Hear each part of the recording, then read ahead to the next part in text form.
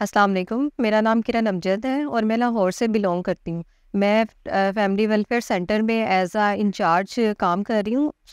Centre का मेरा, centre का नाम शादिक हुई है। और वहाँ पे मैंने पिछले साल में जो है फैमिली प्लानिंग की बहुत ज़्यादा सर्विसेज़ दी और माँ और बच्चे की जो है वो सेहत के मुतलिक काफ़ी लोगों को बताया।